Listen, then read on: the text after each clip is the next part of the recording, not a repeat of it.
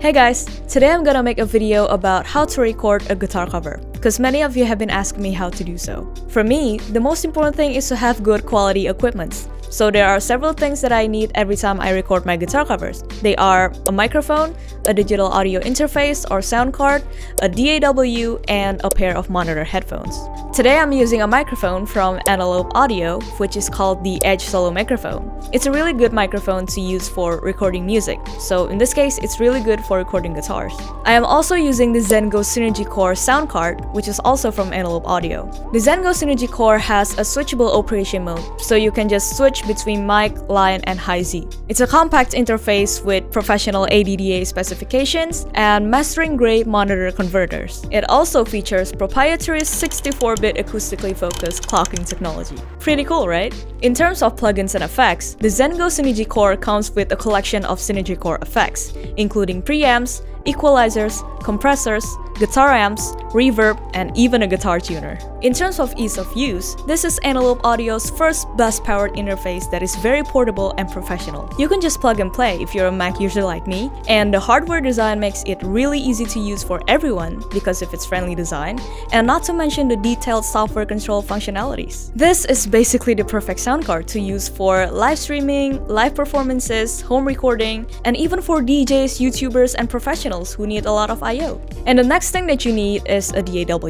Now, because I'm a Mac user, I use Logic Pro X, but you can choose your own preferred DAW. Okay, so let's dive into it. First, I have to make sure the position of the mic is right. I usually have them right in front of the guitar sound hole, because that's where the guitar sound comes from. I also have the sound card right here, connected to my computer, and my monitor headphones and microphone connected to the sound card. Next, I'll open my DAW, which is Logic Pro X, choose Audio, and make sure to choose Zen Go Synergy Core as both input and output.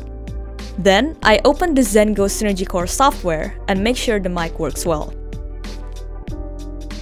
Now I'm ready to go. I'll just hit record and play.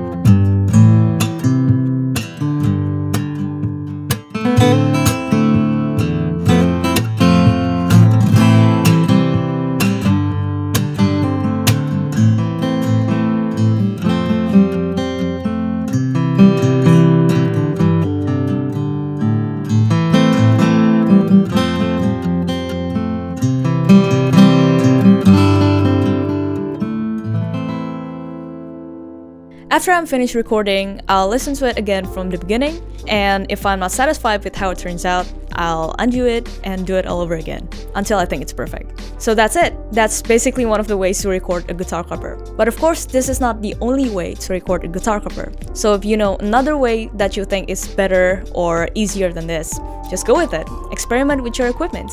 I hope this video helps you guys. Thank you so much for watching, and I'll see you in the next video. Bye!